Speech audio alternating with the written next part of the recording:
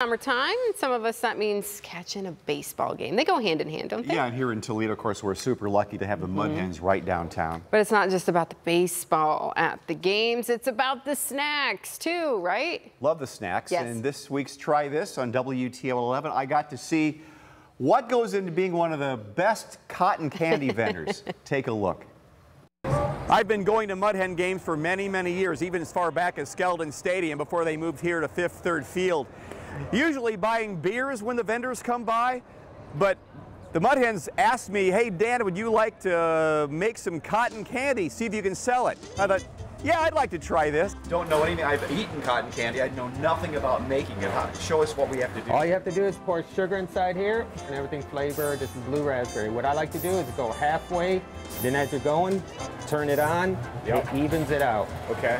Yeah, I can see it starting to look like a spider web there. Oh yeah, it does. I always love when I'm making it at the Huntington Center, I always say there's like little tiny elves in there making cotton candy. You should swirl it, use your wrist, and just spin it around. Wow.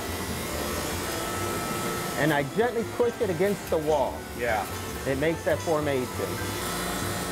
There's no wrong way of making cotton candy. Look at that, huh? Try this. So it keeps the cotton candy fresh and everything. You just tie it and you made a cotton candy. Voila. Nice. Thank you. Love that. Hey, get your cotton candy. Cotton candy here. I'm talking to you. I'm talking to you. You want some cotton candy? Fresh cotton candy. Oh. Who wants some cotton candy over here? Oh, we've got a sale, cotton candy. Cotton candy. Would you like the pink or the blue? Pink. Is that good? This is like, it's so easy. All right, kid. Hey, watch this. So, uh, I'll trade you. How many, how many of these would it take for a Bud Light? Could I also You- get in on this trip? You give me a Bud Light, I'll give you, uh, all right, two blues.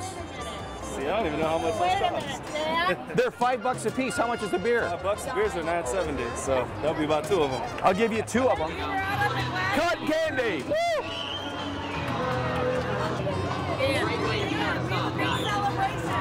Huh?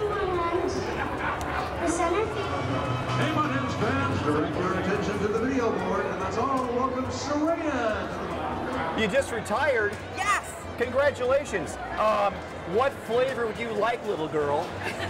Well, what do you have? Well, I've got the blue, and I've got the pink. Um, I tried to bribe the beer guy into giving me a Bud Light for two of these, but about it, that he didn't like that idea very much. Huh. I'll take one of each. Want one of each? Yeah. Pink and a blue? Yeah. There you go. Thank you. Thank you. You're welcome.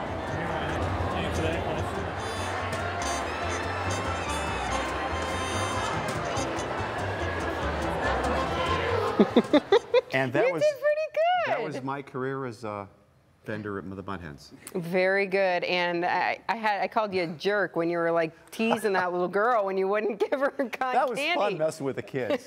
They was seemed like it seemed like you enjoyed it, Dan. I, I had a good time actually. I, I, I mess with my grandkids that way too.